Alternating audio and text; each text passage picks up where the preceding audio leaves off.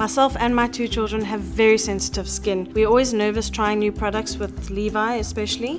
We got the Baby Dove range, we tested the nappy cream on his hand, and he seemed fine.